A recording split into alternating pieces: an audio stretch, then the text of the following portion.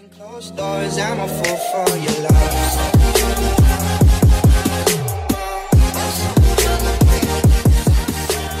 I hope you had fun with that exercise. I'm going to continue with the rest of the previous lesson and show you how I resize these social media graphics myself.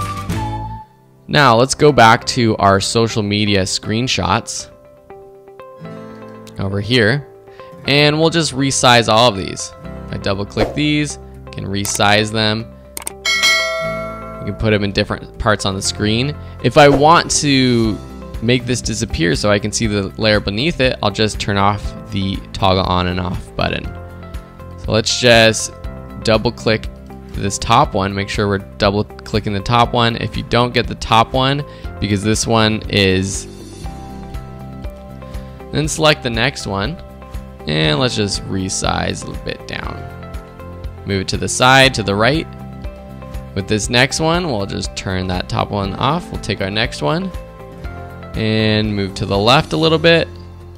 Decrease the size, something like that. Turn off that layer. And then with this last one, we'll just start a little bit smaller. We're gonna be adding some animation to it later.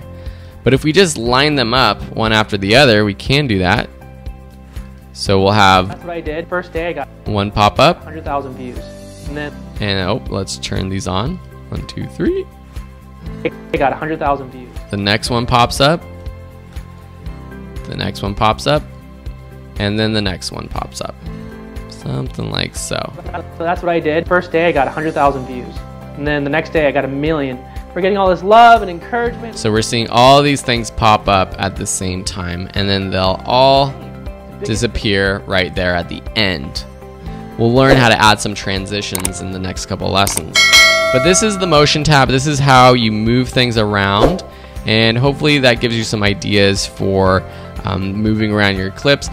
Even for your video clips, say this was shot at a higher resolution. I'm not going to do this for this video, but you can use this to punch in on your interviewer or on a clip, especially if you're shooting at a very high resolution. All right, those are just a few ideas.